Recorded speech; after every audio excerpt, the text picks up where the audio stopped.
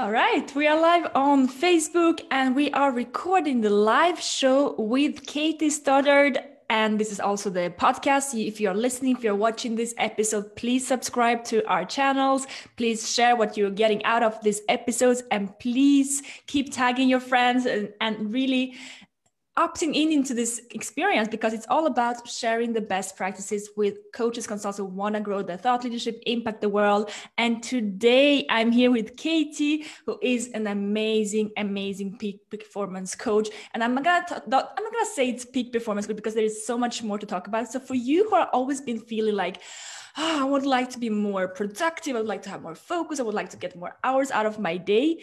You will meet Katie today. And the thing is with Katie is that she has these superpowers of not making you feel like you're you know, worthless in terms of your productivity. She makes you feel empowered of being yourself and actually finding your own ways.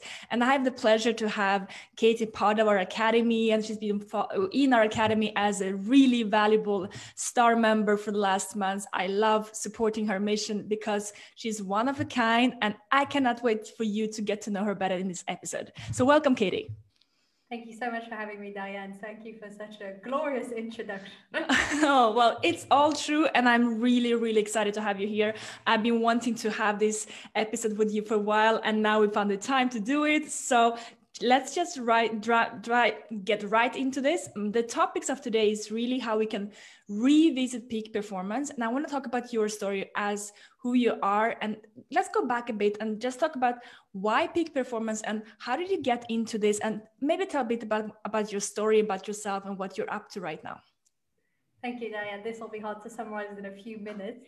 But yes, well, of course. En- engineering background, and I used to work at sea on boats. And then I realized I was really passionate about working with people, and this led me to coaching. And while I was coaching and I started my own business, I used to really struggle to structure my days and I found it difficult to manage my life as a newly self employed businesswoman. Mm. And this mm. led me down the route of productivity. So I worked a lot on how to structure your days, how to get more out of your time, how to be more organized. And then ultimately, I really realized that productivity is just a small part of high performance and high performance entails how you manage your energy how you manage your mm. days how you find balance. And why i'm really passionate about high performance is because it's not about burning out. It's not about working super hard to your limit. It's really about finding that balance and tapping into your potential so you can live at a high level of happiness. At the end of the day you feel happier you feel more peaceful and as a bonus you get your work done and you're more successful yeah. in your business also Wonderful. And can you give me some examples of the type of clients that you work with and how you help them with uh, high performance, peak performance? Yes, absolutely. So I work a lot with entrepreneurs and founders and also with executives.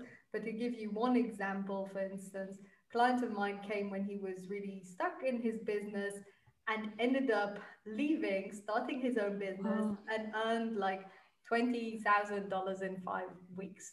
So that's amazing.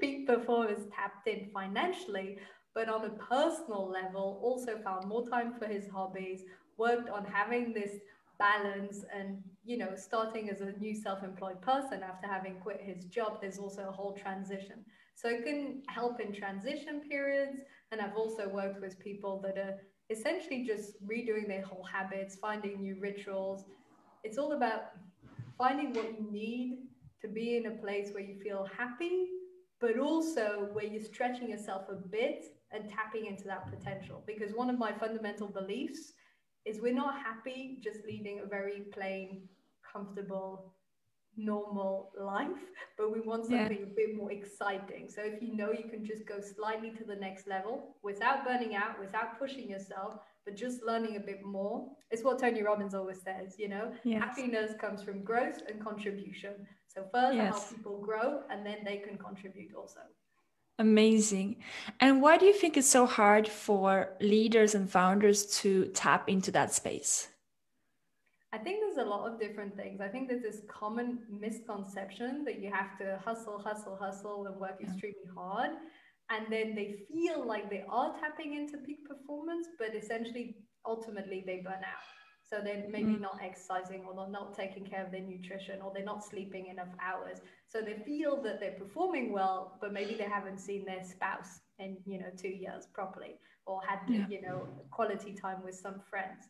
So I think what happens a lot of the time with very, very driven individuals is they go too far down the line of being super productive, but actually they forget that the main part of life isn't just to finish your to-do list or to reach yeah. all your goals, but actually to enjoy it while you're doing it and to look at the other areas of your life. I mean, people always say that when you die, you don't regret that you didn't work more hours in the office. You know, it's time Absolutely. spent on relationships and other aspects of your life too.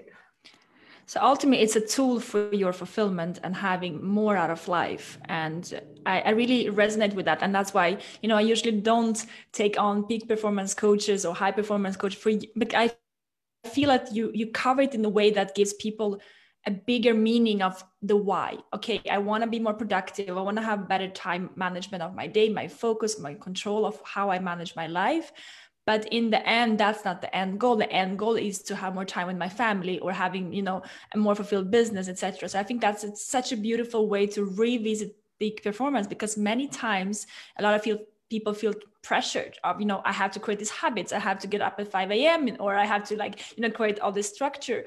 And that pressure take away the joy of actually tapping into your peak performance. Would you say that that's how you see it or is it could you add something to that Yes, absolutely. And I also think that I was at some point on that side where I was trying to do everything to feel like I was highly performing. And then I realized actually, this isn't making me happy. This is just overly pushing. So then I found myself that balance of I'm stretching myself, I am, you know, exercising more than before, meditating regularly, but I'm not getting up at 5 a.m. every day because I don't have yeah. to yes, exactly. You don't have to. If you want to, then by all means, but it's not something you have to do to, to consider yourself as a high performer. Amazing. And I think that's a great way to transition to your story because as you mentioned that you went from, you know, thinking that that's the way you should be doing yourself and going towards something that is much more aligned with your own personality and your own energy and flow. So can you tell a bit more how you found a better way of actually tapping into your own peak performance. Yes, absolutely. So I think for a while, I was convinced that I had to do all this tracking and measuring, and I still do a bit of it, but I was overdoing it because I felt this is what it's like to be high performance. This is what it's like to be very productive. And I could do it, but it relied a lot on my discipline, and ultimately it made me feel very tired. And if mm. we look mm. at, for example, the four tendencies of Gretchen Rubin, for people who know this, I saw I was a questioner, which means that I followed my own inner rules, but questions outside of rules. And questioners are very good with trackers and Toggl and time tracking. And so I do have a small tendency of this. So I did work on it a bit. But then recently, I realized more that I was a rebel, which means that I don't really function like this. It's more I function on a global vision and then go more with the flow. And I always really knew this because I'm hyper creative and I do like quite a bit of chaos. So there I was trying to be very productive and do it all in boxes when deep down I'm just this very creative flow person. Yes. And once I realized this again, because I'd realized it before, but this time I accepted it so instead of realizing it and saying, no, no, but still I should be doing all of this Excel stuff and trying to force myself in these boxes, mm. I let go of it. And the way I, I still reach my goals is by having weekly goals, but letting myself do them in the order that feels right. So I have my yes. calls that are structured that I follow, like this podcast interview or live. And then I have other parts of the day where I just work on what I want. So I'll give you an example for this week, I wanted to do my course on being hyper productive from home. And I literally did it in five hours. I did the entire course, filmed videos nonstop. But why did I manage to have that energy? Because I didn't force myself to do it on a specific time. I just said, I'll do it this week. And then when it felt right, I just filmed all of it. And before, I would have probably done something like time blocking and said, I yeah. must do it on Wednesday from 10 till 2 but maybe then I didn't feel like it. So it's it's an interesting balance because you need to still achieve your goals for the week, still make some progress. Yes. Essentially for rebels and for creative people, you need to feel like you mm. still have that freedom, like you still have yes. And time blocking only works so much when you, you know, if you overdo time blocking with all your tasks, then it feels too much like an obligation. Mm, I love this. You're giving so many listeners and, and our community the permission basically to say that you don't have to do it this way like you can put the goals for the week and then be creative within that space and uh, in our stage three program momentum which you're part of uh, most actually everyone everyone in the group are rebels at the moment and everyone that come to you know having a high performance like successful business six figure plus in they all are somehow visionary because you need to be a visionary you need to be creative you need to be thinking differently and to be able to create you know new things in this world. And i truly believe that the zone of genius is to tap into your creativity. And if you learn that you can be high performance peak performance you can have like your things in the schedule that are scheduled like your calls with your clients and your podcast interviews stuff like that your team meetings and the rest of the time you give yourself the permission to actually be you know going different direction. And that is your superpower because visionaries and i love working with visionaries because when you work with visionaries, you see that they they're sparkling, they're opening the, the energy, the joy that comes with that. And I think that's the joy is a really important part. We talked about fulfillment before, like tool to fulfillment is peak performance, is having hyper focus and learning how to work with that, but in your own way. But the ultimate goal is joy. And would you say that having this rebel and accepting the rebel in you and we're gonna put that in the show notes as well a bit for uh, the quiz that you can check out if you want to try it yourself. So there's a free quiz on that. Um, accepting that you're a rebel accepting that you need to put your own rules and you know actually break your own rules even if you put them up um, in your schedule. What has this allowed you to feel in your business Yes, I sort of fell in love again with my business. So I was, I liked it. It was like we were friends. I liked yes. it. It's my business. I still like you. Yeah, we have good days, bad days. I still like you. And then I just sort of fell in love with it all over again. So oh, amazing. Loved every minute of the day. The whole day seems like a time vortex. I don't see it go by. I'm in flow the entire day. And one ah. important oh. I wanted to mention with the acceptance part, I think this is super essential and maybe some listeners will resonate is I think in my case, I didn't accept this creative, chaotic side because I didn't trust that I would still get the results. Yes, so I think it's really linked to self trust. And once you realize that actually I trust myself, and if I say I'm going to do it this week, or if I say my course will be done, I don't need to block the exact time I do it. Some people do, that's fine. Yeah. I don't. Yeah. Yes. And yeah. I just fix myself roughly the time this week and I trust myself that I'll get it done. And once you trust yourself, it happens. But yeah. the thing I noticed with this rebel type energy is the more I force myself, like this must get yeah. done and schedule it in and pressure, pressure, the less I want to do it. Yes. The less likely I will do it. And yeah. then the worst part is because of working so much on my discipline and willpower, is most likely I will do it but with less energy, less fun, and ultimately I'll feel drained at the end of the day. And I think this is extremely common. People force themselves if they have yeah. high discipline or they're working really hard on their business, but instead of them being excited by it, it drains them. Yes. Yes, this is really common. And what you're saying is basically like, I see it very often, um, and even like six, seven figure businesses I met, the founders have basically force themselves to become the the structured organized you know and really like but they are somehow not happy inside because they are not in the creative flow the natural creative flow. And for me when i when i meet them my goal with really with momentum in our academy is our slogan is 10x your fun. And that how can you 10x your fun in your business is by being truly in your zone of genius and not doing anything else. Because when you're in your zone of genius you are in your highest service for others. Because you're doing what you love you're doing, doing it from your heart. You're really like you you recorded this new course in five hours because it was coming through you. You were creative you had the energy you were in your flow. And when we are in our flow we are more productive. There's so many studies saying that you know that when you work in your flow state the productivity goes up in it, it's increased mm, drastically like really really much. I don't know the numbers i'm just saying really really much but it's it's impressive. And i think it's oh i love this episode so much already. I think that there are people listening and watching that have to rewatch it and re-listen because there's so many pearls. And i love the way that you're giving people permission to really say there is a way and working like someone like you is allowing people to actually find that way. Because you know if you're thinking like you're listening and you're watching this and you're like ah i want to be more like i want to have a higher performance in my business my life but getting that help is important. Getting help to find and you know someone that can help you to find a way to like understand your type how you're working and actually help you to have a better I think it's a lot about self-awareness, a better self-awareness and how do you function better? How do you how can you focus better? How can you be more enjoy in your creativity, in your energy? I think it's wonderful your work. I'm really, really excited for the ones who get the chance to work with you.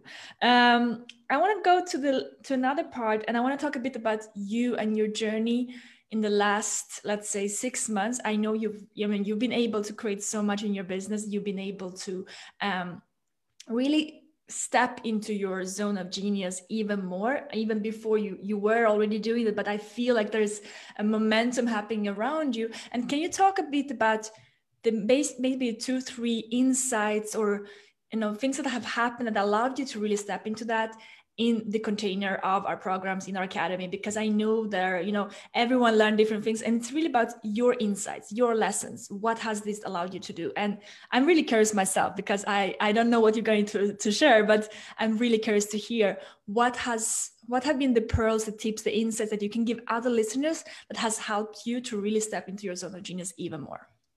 Absolutely um, first of all, yes, I totally agree with what you were saying just before in terms of it's super important to have that support. And that's what yes. I have in your academy and also have another coach on the side. And I had another one before that. So, yes, it's always important because then it helps you to have that self awareness, that reflection yes. to learn from it. In terms of the academy per se, I learned so much. And I also think that sometimes you or always you don't know what you don't know.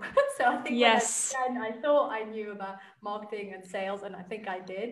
But in terms of structure in terms of lead generation in terms of understanding blockages both inner blockages and potential client blockages in terms of really understanding my service and my product and how to structure yeah. it so it'd be hard to put in specific points but yes. I know that one of the things, for instance, was in terms of confidence and imposter syndrome. I never really had it so much, but like we discussed in one of the sessions, when you really challenge yourself to go to the next level, it comes up. And yes. then uh, Daria's recommendation, uh, or your recommendation was to have these sugar cubes. So to have a place where you keep track of all the feedback you get from your clients and your listeners and people you're in touch with on LinkedIn, and you write it all down. And now I have pages and pages and wonderful of all yes. the compliments and insights. And thank you for this. And this course really helped me, and that was great. And this session was amazing. And and since then, I haven't really had imposter syndrome, but I know that if I do, I'm just literally going to feed my brain all this yes. feedback and all this insight and be it's not about me or how I feel, it's about the results I deliver. These are people who have written these words and there's pages of them. It's valuable for them.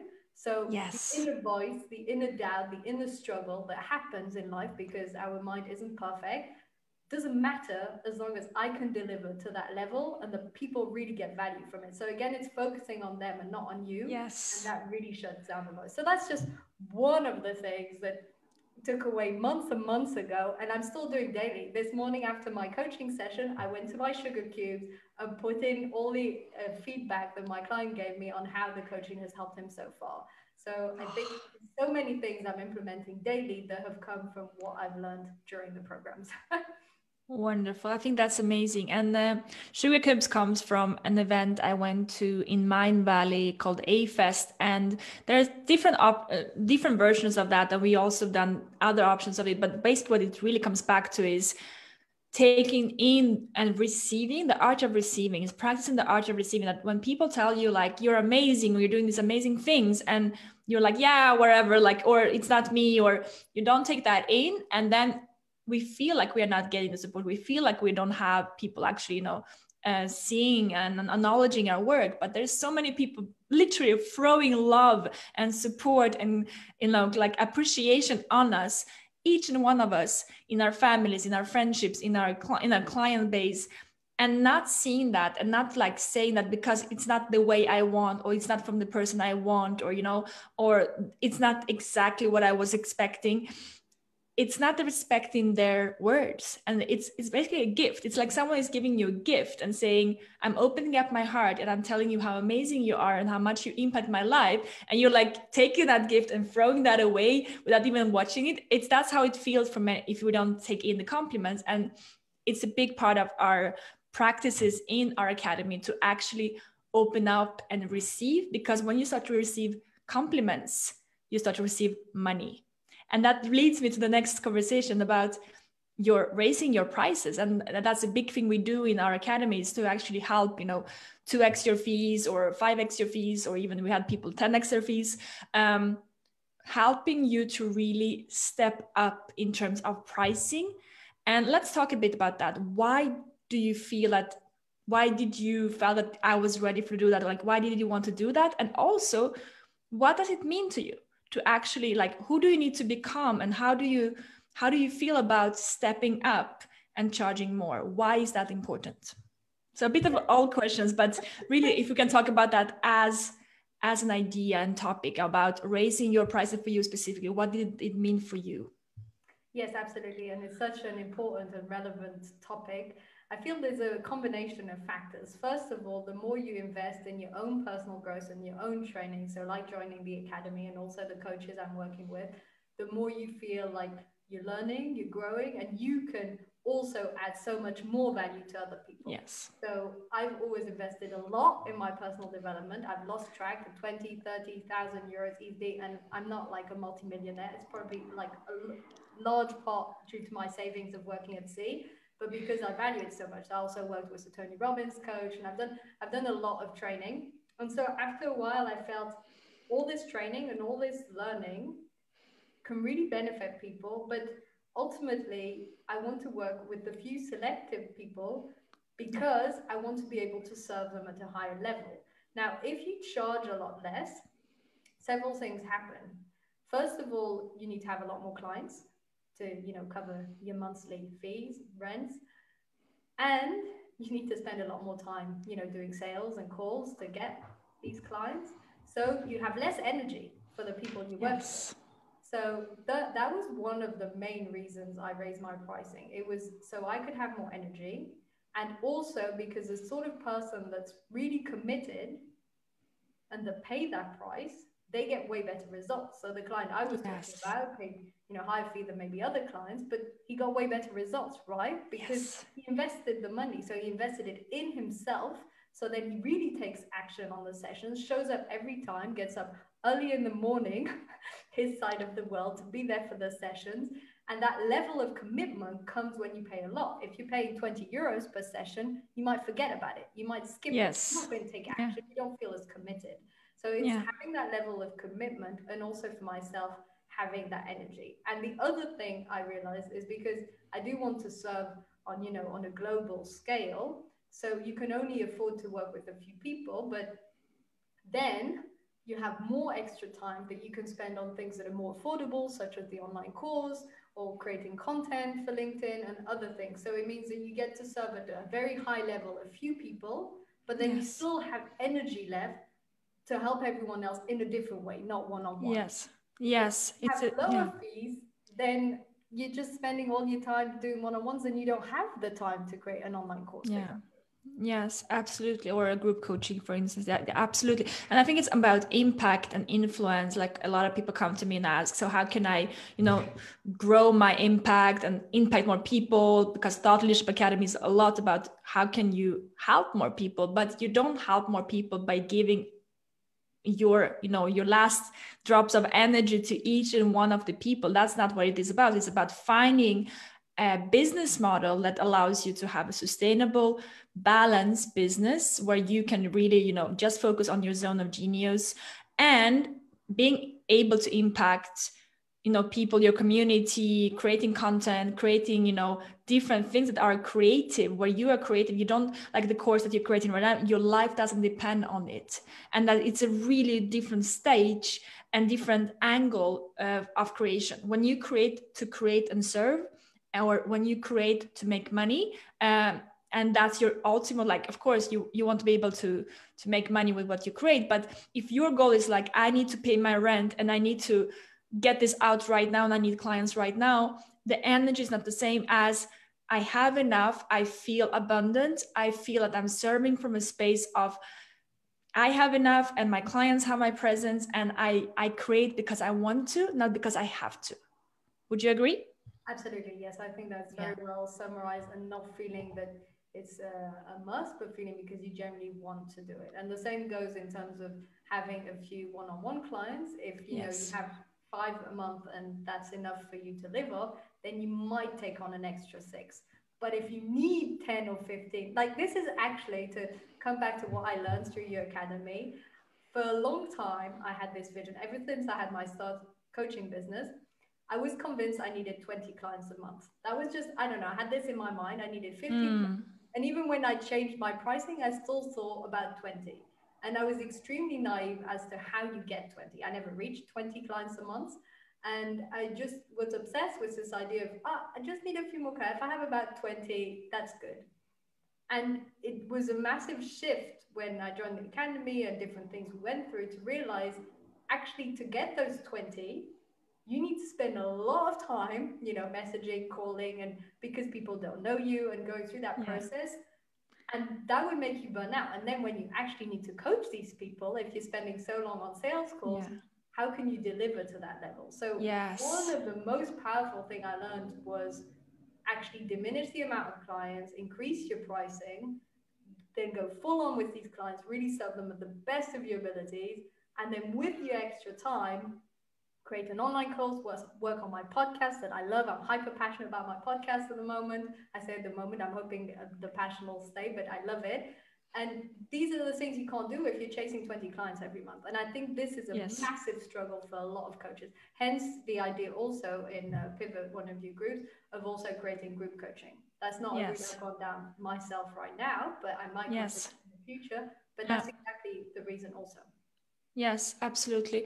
And I usually say that um, in in for our members, I usually say that you basically need ten clients that are amazing to have a six figure business. If you have ten clients that you serve at the highest level that you can serve them at, you don't need more than 10 clients. And there's a misconception we have with these online courses and like masses you know email marketing and bombarding people with you know courses and stuff that actually in the end are not really creating transformation. Like if you look into online courses there is only 3 to 5% completion rate on the long courses. And i'm not talking about this like the the fast course like i love in terms of like one specific topic go deep into that. But if you have like a longer training three to five percent go through that how many people will stay with you if they're not getting results? Where if you have uh, in our academy we have people staying with us for years. We have one year two years you know going to the third year. And why do they stay is because well they actually have one completion rate. Secondly they implement third they get results and then they continue. So it's a really different approach. I think that somehow it completely shifts your mindset about how you serve. Um, which leads me to my last question: Do you think that you become a better coach by doing this? By doing oh, by serving fewer people or by yes, yes, by, by what you have done, do you feel like you have become a better coach and a better, you know, um, do you I know that you you you know you went we spoke about the rebel and being more in your zone of genius and your flow. We spoke about the pricing, the how you are allowing your to yourself to kind of really choose your clients and and really go deep deep with them. Do you feel like can, that you're stretching your you know your excellence, your expertise? Are you are you feeling that you're expanding your knowledge and the way you're facilitating coaching? Yes, that's a great question. And I think there's several ways to look at it. In some way, obviously, I've grown a lot more, learned a lot through the academy, other things I'm doing. So that definitely contributes. On another level, because there's in this sort of pressure of getting 20 clients a month, you can really focus on the clients yes. you have, which again means you can serve at a level, another level.